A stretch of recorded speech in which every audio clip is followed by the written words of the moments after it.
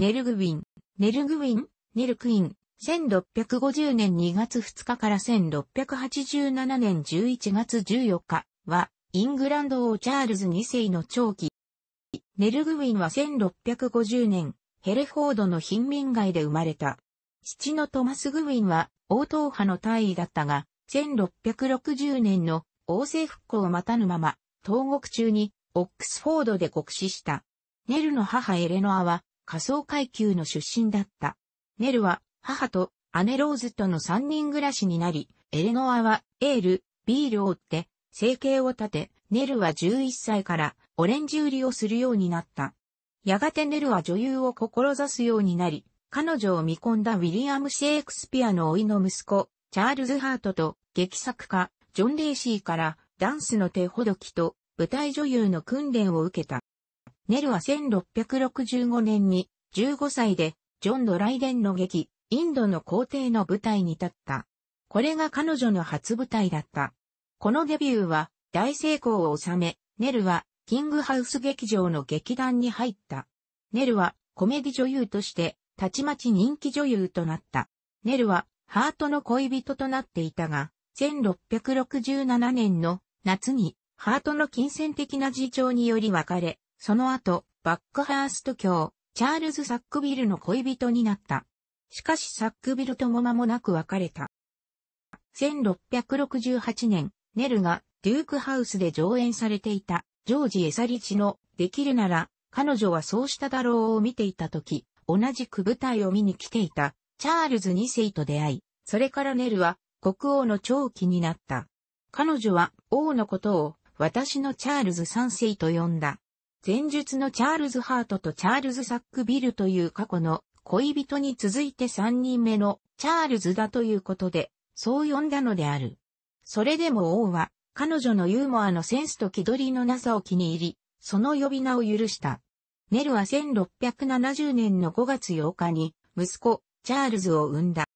しかし、1671年にネルに強力なライバルが出現した。フランス貴族の娘、ルイーズ・ケルアユだった。ルイーズは、ルイ14世からチャールズ2世をカトリックにするべく、密命を帯びて、1671年にイングランドの宮廷に送り込まれた。チャールズ2世は、しとやかで美しいルイーズに夢中になった。ネルは取り澄まして、もったいぶったルイーズのことを、皮肉の効いた基地でよくからかった。ネルはそのうちにルイーズを、しだれ柳や、ヤブニラミ美人と呼ぶようになった。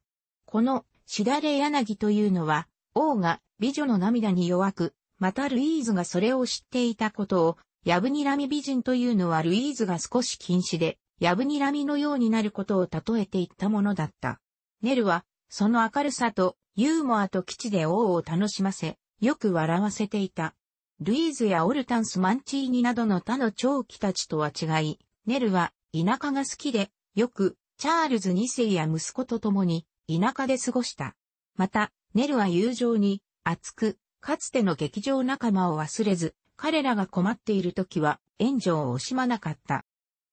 1673年にホイック島の陰謀者、タイタス・オーツがカトリック教徒がプロテスタントを虐殺してロンドンに火を放ち、チャールズ2世を暗殺して、弟のヨーク公ジェームズを王位につけるつもりだと、ことした。ロンドンは大混乱に陥り、海軍省書記官のサミュエル・ピープスまでが、秘書と共に無差別のカトリック一斉検挙で投獄されてしまった。ピープスはネルの舞台を見てファンになり、その後に友人になっていた。ネルはチャールズ2世にピープスの無実を訴え、彼を暗殺犯のリストから取り除いてくれるように頼んでもいる。タイタス・オーツの陰謀により、カトリックへの急進的な反発が渦巻いていた頃、ネルの乗った馬車が、オックスフォードで群衆に取り囲まれるという事件が起きた。彼らは、ネルの馬車に王家の紋章がついていたため、ルイーズ・ケルアイユの馬車だと思ったのであった。ネルは窓から顔を出すと、皆さん、乱暴しないで。私はプロテスタントの娼婦よ、と叫んだ。群衆は、ネルが一緒なら仕方ないや、と殺気だった雰囲気が薄れ、すぐに、ネル、ネル、の大合唱が起こり、馬車を通したという。ネルはバーバラ・ビリアーズやルイーズ・ケルアイユに比べれば物欲や地位に対するこだわりが少なかったが、全くこだわっていないわけではなかった。1676年のある日、長男、チャールズのことを、おいで、死生児ちゃん、と呼んだ。それを聞いた、チャールズ2世は驚き、この年の12月に、チャールズを、バーフォード伯爵及びヘディングトン男爵に、1671年12月25日に、生まれた次男ジェームズを、ボークラーク教に助した。ネルは、伯爵の母ということで、レディの称号を与えられた。彼女は1675年には、ロンドン、ニューマーケット、ウィンザーに邸宅を持っていた。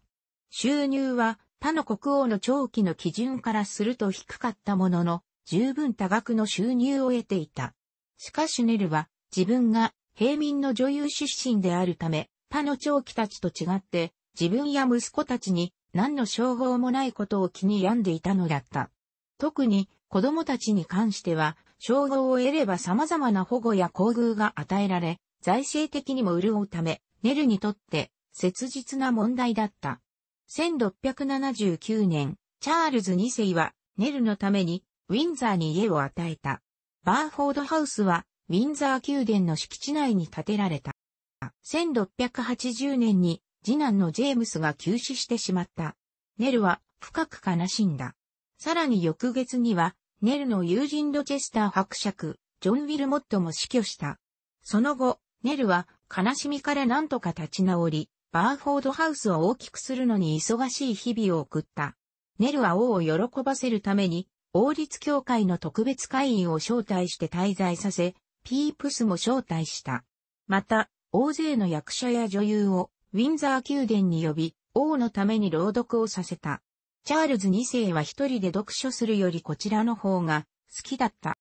1681年のクリスマスに、ネルはクリストファーレンによるチェルシーのロイヤルホスピタルの設計書を見せられた。これは老兵たちのためにチャールズ2世が作った診療所だった。ネルはチャールズ2世にもっと病院を大きくするように進め、チェルシーの自分の土地の一部を提供したと言われている。翌年の春には病院の礎石が据えられ、それから長い間、内戦の時の老兵やその後のオランダとの戦争で負傷した人々は、乾杯の度に立ち上がり、良き王チャールズと我らのネリーのためにと叫ぶのが常になっていた。